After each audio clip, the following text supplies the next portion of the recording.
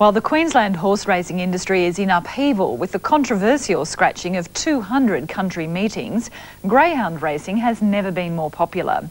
The sad reality, though, is away from the excitement of the track, very few greyhounds get put out to pasture. One Queensland company is now giving these retired racers a purpose in life, thanks to a world first in medical science. Kirsten Murray reports.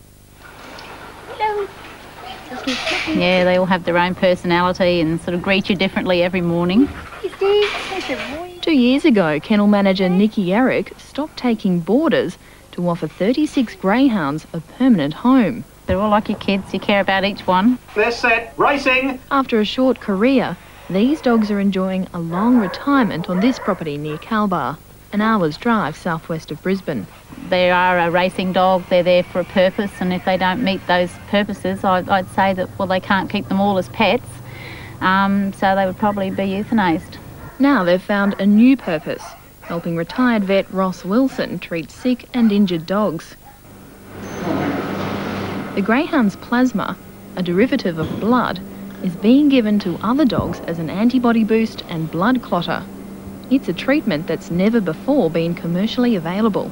I love all animals, and uh, but the, these dogs that are um, just have such beautiful natures that are being able to benefit not only Plasvacc but but every patient that a vet treats with the plasma is a is a good feeling. Max is one of Australia's first official canine donors. Being a finely tuned athlete, he's the perfect candidate. They're a good combination. They're uh, a nice body weight, we, they're, they're as big as we can get without them being difficult to handle for the girls. Um, they're used to people handling them. There's a high proportion of the correct blood groupings that we require for universal plasma donors.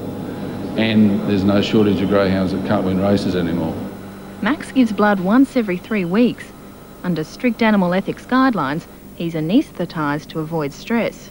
The process is the same. It's much the same as, as is used every day on people at the Red Cross blood banks. People donate plasma as well. Once the plasma is extracted from the blood, the cells are returned to the donor. Did you get that starting time, 8.25? Now bagged, the plasma's on its way to animal surgeries across Australia, New Zealand and Dubai. University of Queensland vet Chris Jensen administers plasma about four times a week to dogs of all breeds. Plasma is basically almost like the perfect food um, for an animal that's, that's lost a lot of uh, proteins out of its body, in particular through trauma or burns or serious internal diseases like pancreatitis or peritonitis. Um, plasma is life-saving. It replaces immediately those, those important proteins that the body needs to function. For Staffordshire Terrier Beryl, badly injured after a car accident, plasma was just the pick-me-up she needed. Tomorrow she'll head home. In those very severe cases where you really only have minutes to act to, uh, to save an animal's life, plasma is one of those things that really is a lifesaver.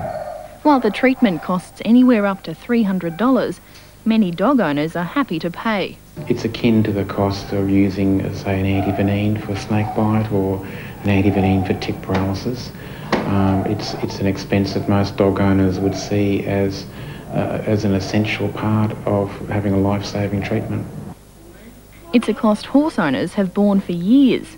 Ross Wilson began his research collecting plasma from these retired races.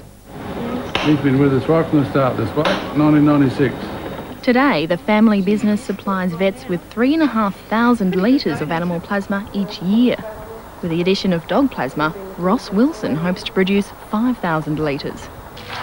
It's a nice feeling, and you know we've had a lot of people ring up since we finished acquiring dogs, still wanting us. We could have had uh, over 100 dogs by now if we'd accepted all of them. One day I hope we need that many, but just for now we'll uh, see how we go with our 36. To Ross Wilson, the next recipient of this readily available treatment is obvious. Today it's man's best friend, tomorrow, man. How long will it be before we can whip down to our local GP and, and get a plasma pick-me-up? That's a good question, Kirsten. That's something that we are definitely planning on moving into the human field. I think you'll see antibody therapy and people take right off. Good. And Ross Wilson has just returned from the US where his company Plasvacc won Best Written Business Plan for its canine plasma.